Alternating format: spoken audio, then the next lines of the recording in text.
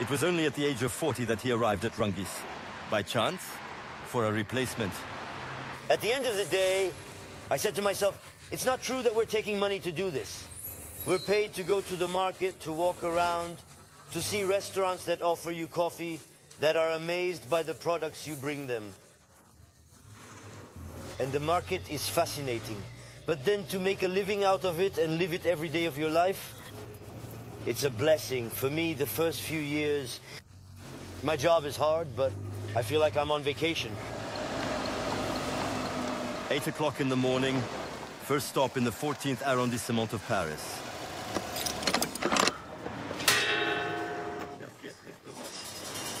Hello, Alain. Ah, but hey, it's on time for once. It's magnificent.